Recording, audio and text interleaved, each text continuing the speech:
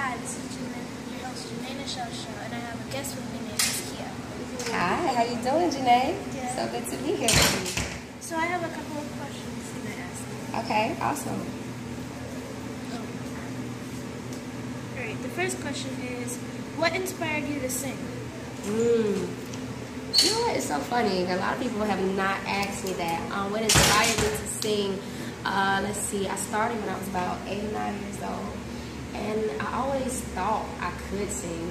Actually, not eight or nine, six years old, and I, I, I thought I could sing. And a lot of my cousins could sing, and I was the one who couldn't sing per se. And um, I kept trying and trying, and then I got my first talent show when I was about eight or nine. But my cousins, uh, we were in a group called Two Apart. We won first place, and then after that, I kind of wanted to do my own thing, and then I just started singing and being in shows, and it's been going on for then since that time. The second question is, who is your role model? Hmm, my role model, as far as music, probably be Beyonce. I think Beyonce is amazing as far as music, as far as dancing, choreography, her business. I mean, when she goes on stage, every all the eyes are on her. She has the control. It's fun. It's edgy, and I would love to have that type of audience and control that she does. When did you discover your love to sing?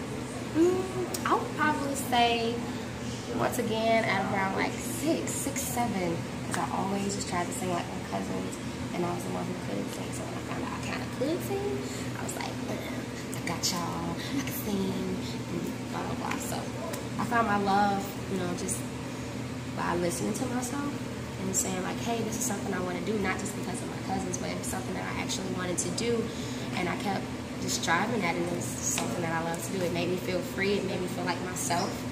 And yeah. Okay, then number two.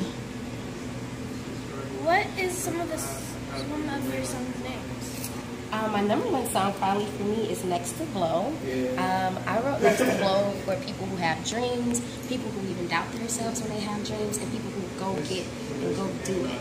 Basically, like me, I wanted to be a singer when I was a young girl, but I used to doubt myself because my cousin would tell me I couldn't sing.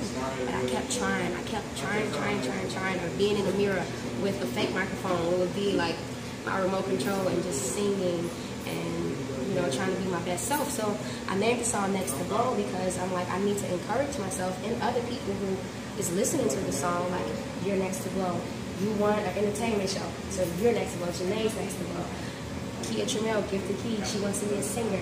She's going to be to blow. She keeps trying, she keeps going. Even if she doubts herself, she has that ability to, to be the best that she can be and be blow. That and then Supermodel is another one of my favorite songs. I feel that we all have the potential to be supermodels. Me, especially when I'm in my room in front of my mirror, I'm like, hey girl, what's up girl? What you doing girl? And all of that. Even if you're a guy, like, I like that haircut, bro. It's nice, bro. The way I talk to that girl, it's nice. You know what I'm saying? Like just being a supermodel and being super confident within yourself.